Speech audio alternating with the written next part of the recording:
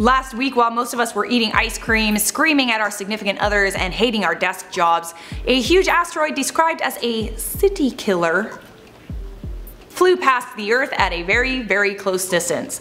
If this asteroid ended up hitting Earth, it would have ignited an explosion more powerful than the biggest nuclear bomb on the planet. Welcome back to another episode of Asteroid Review! I mean inform overload. Today on Asteroid Review we are going to look at an asteroid that was the closest to causing Armageddon on Earth in the history of Asteroid Review. Excited? Me too. By the way, I'm Charlotte. Normally on this channel we tell you guys about the best, most interesting news stories we find on the internet, and then we make them more entertaining. And yes, asteroids are entertaining. I bet there's one flying by my head right now that you just love to look at. See?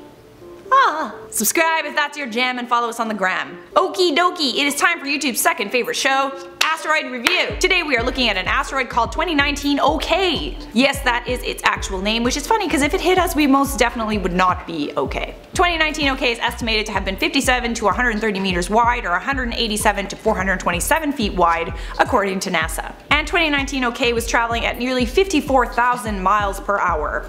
It flew by Earth at a distance of 73,000 kilometers or 45,000 miles. And in case you're wondering, that is less than a fifth of the distance between the Earth and the moon. And 2019 OK is also the biggest asteroid to fly by Earth at that close of a distance in a number of years. If this asteroid happened to hit land, it could have wiped a huge city like LA off the face of the Earth.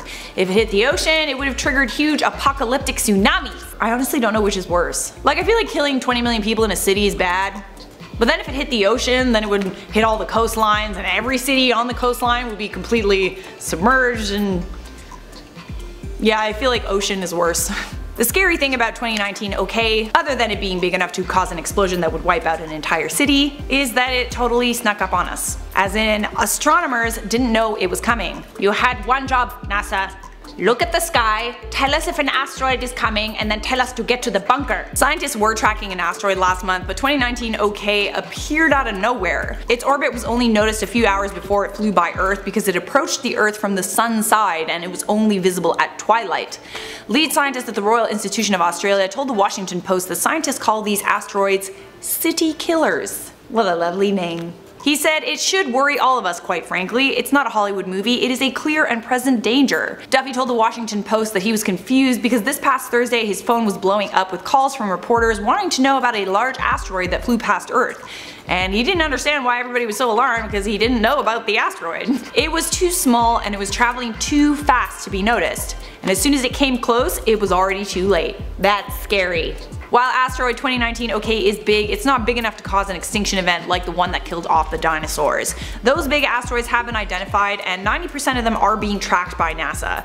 But just because it's not big enough to wipe out most of the life on Earth, that doesn't mean it's not big enough to cause some serious damage, okay? And its size makes it difficult to identify and track. Duffy also talked about how important it is for us all to be staying on watch for these asteroids, saying sooner or later there will be one with our name on it. It's just a matter of when, not if. We don't have to go to the way of the dinosaurs, we actually have the technology to find and deflect certainly these smaller asteroids if we commit to it now.